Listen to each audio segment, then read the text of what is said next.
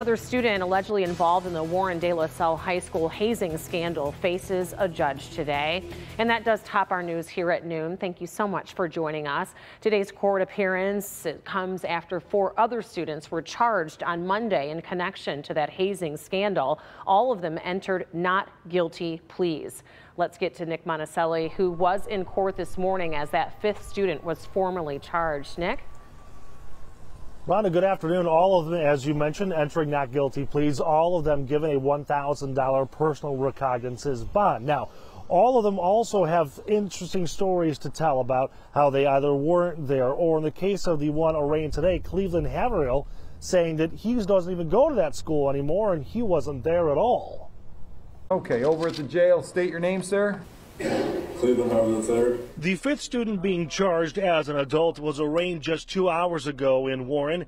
18 year old Cleveland Harville III has been charged with a misdemeanor assault, the same as the other four charged yesterday.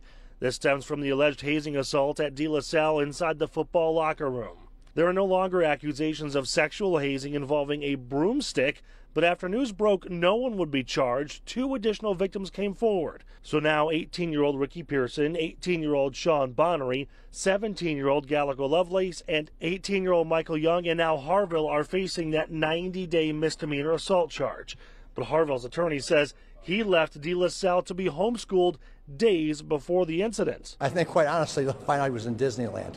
But we'll figure it out. And just like yesterday, the defense pointed out all defendants are African American. I think this is a very interesting case insofar as you have eight African American defendants. You have three potential white defendants that weren't included. And I think that's an interesting dynamic. Now, if you're keeping track of this case, it was announced that seven defendants will be charged. So five of them are being charged as adults the other two are juveniles. They'll go through an entirely different court process. Now, coming up on Local 4 News at 5 o'clock tonight, the question remains what is next? What do we see coming down the road, so to speak? We've got those answers from the defense attorneys and what they plan to do. That's again at Local 4 News at 5. We're live here in Warren. Nick Monticelli, Local 4.